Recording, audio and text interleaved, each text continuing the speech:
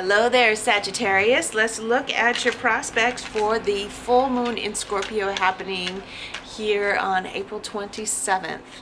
That is during the, that's right smack in the middle of the uh, sign of, in the sun sign of Taurus.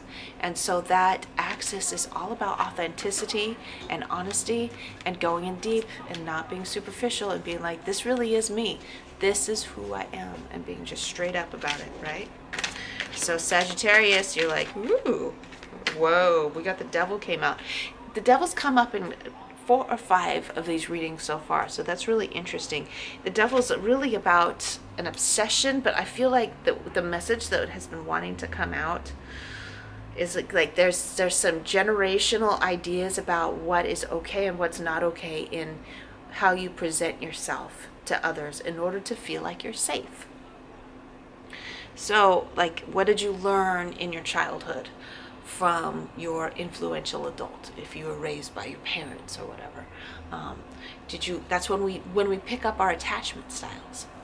So, if we learned in our childhood that it's not safe to say what you want, like you, you told your little a little child and you said I want that to your to your mom and your mom was like you can't have that then you're like oh mommy's mad at me and so you never ask for what you want you never say what you want to your mother so that you won't so that you won't disappoint her. That's still stuck in your subconscious mind. Our subconscious is built by the time we're five years old. And so we're still running on those patterns all the way through adulthood. So unless we're con unless we become conscious about it right? That's what this this devil is about is these unconscious patterns that make us act in ways that are actually de- detrimental to us. And so we're going around thinking we can control whether or not somebody's happy with us by making them happy, by being people pleasers, by not being truly honest about what it is that we want. Okay? So there it is. Multiple generations, probably your parents or whoever raised you, uh, also grew up with this idea that if I don't make the people that I need happy, the people who like, I'm dependent on in some way, if I don't make them happy, then you know I could die. So I've got to please them at all costs, even if it means sacrificing things that are really meaningful and important to me. And so there's always this like little subtle dissatisfaction with life that goes along with that. So let's get to the root of this, right? How do we go forward? Any advice from the tarot about going forward? There's the there's the hermit who wants you to know that it is okay to be alone. I think that's what it comes down to fundamentally.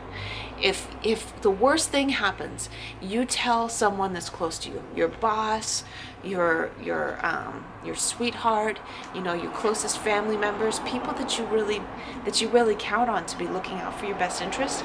If you tell them truthfully, something that you've been hiding that you're not totally proud of that you would like like really like to have happen or some some like aspect of yourself that you feel like really needs to come out?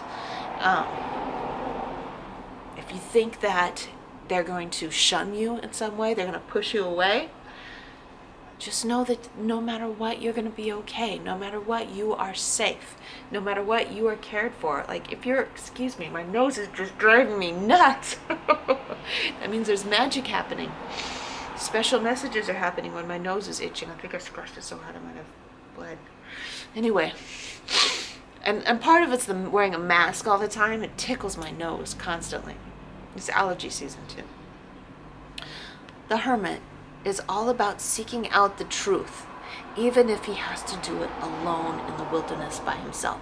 But he is always safe and cared for. He is not afraid of the wilderness. He's not afraid to walk away from the trappings of the of Babylon, of the material world, in order to seek out what is true and real for him. And what happens is that he goes out with his lantern and he's by himself in the wilderness. And it turns out all the other people that are wandering the wilderness see the land, the light. They see the light in the distance and they're attracted to it. And that's how he finds his new friends. The new friends that are all, have also um, dealt with the pain of separation that that he has. Okay, So that's where you're headed, right? Not necessarily by yourself, but you're headed toward feeling safe, Sagittarius, in who you are, even if you have to tell someone the truth that, that ends up pushing you away. Know that. But there's a really good chance that who that whatever you have to tell people like whatever you need to reveal about yourself it's not to there's a really good chance that it's not to shun you if there's a really good chance that the people that you love that you depend on will say well why didn't you just say so? And it'll feel awkward and weird but you're the one that that held it back so you just have to deal with that right?